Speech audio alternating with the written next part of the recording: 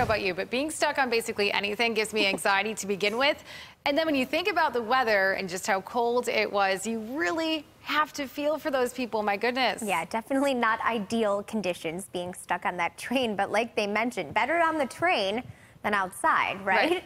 Here's a look at what's going on outside Western New York right now. This was a photo sent into our newsroom from North Tonawanda. Right along the river there, you can see the ice jamming on the sides and a little bit of snow that's accumulated on top. Now, already a wintry scene across much of Western New York, but we're going to be adding some fresh snow to the mix as we begin your day tomorrow. Starting at 6 o'clock in the morning, winter weather advisories go into effect in all of Western New York and northern Pennsylvania, and they extend extend all the way through 10 o'clock tomorrow night. And even after 10, we're still anticipating some light snow showers. So the threat will not end late tomorrow. Not really until Thursday. And we'll get to the timing in a moment. But here's what's going on outside right now. On the satellite and radar, we've got some light snow flurries really pushing across western New York, especially in Niagara and Orleans counties. But again, this is very, very minimal and very light, not accumulating to anything much. When that will start to change is when we get into the early morning hours of tomorrow. So notice that about 2 o'clock in the morning, we'll see some snow showers developing towards Jamestown into McKean and Potter counties. That will linger there for a little while before moving further north. Notice what happens. At about 8 o'clock, it will encompass all of our southern tier counties.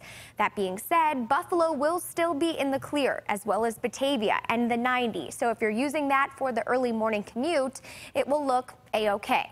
But into the afternoon and evening, we are expecting to see that snow push further north and really encompass all of Buffalo, Batavia, Niagara Falls, Albion, and snow will actually be pretty heavy at times. And notice where I've got this model stopped at about 5 o'clock tomorrow evening, so just in time for the evening commute. That means you should once again be weather ready, have a blanket in the car, have some granola bars in the car, maybe a water, because the commute tomorrow evening will be a lot slower than you'd probably like. And that snow won't really move out of here until, say, midnight tomorrow evening. Now, even then, as we get into early Thursday morning, we are anticipating just some light flurries continuing, but for the most part, again, the most impactful snow will be out of our region. And I've showed you this map a couple of times throughout the last hour, but it's a good reminder that shovel snow, snow blow snow, even potentially plowable snow is on the way. Batavia, Albion, Niagara Falls, Buffalo, all looking at a good four to eight inches of snow on the ground by tomorrow evening. Springville, North Boston, also looking at places like four to eight inches. But further south in the southern tier, Chautauqua, Cattaraugus, Allegany counties, we're talking more like three to six. And surprisingly, northern Pennsylvania will pick up the least of the snowfall, looking at one to three inches. Now, outside of all of that, it's a chilly day today and will again be tomorrow. That means the fluff factor will be there in terms of snow. So get ready for the light fluffy stuff. At least it's not heavy and wet and hard to shovel. That's one positive, right? Here's a look outside 21 in Buffalo, 21 in the Falls, and we've got upper teens across the southern tier.